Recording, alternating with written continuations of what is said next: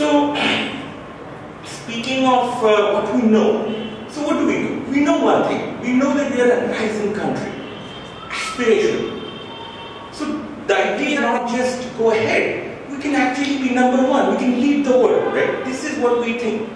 Now this is what I call, on the one hand, the forces of hope.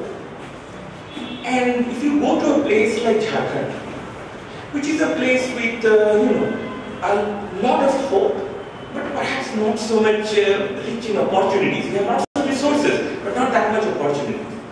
So you will feel something like this pressure differential, you know, like a high pressure, low pressure thing. And so you will feel this incredible force, this wind in the sails of aspiration which is blowing through. But on the other hand, you will have what I call the forces of fear, the Naxal forces. So you might be aware of this uh, simile or metaphor that Arundhati Roy had, Gandhians with guns. So one thing I can assure you, they are not Gandhians.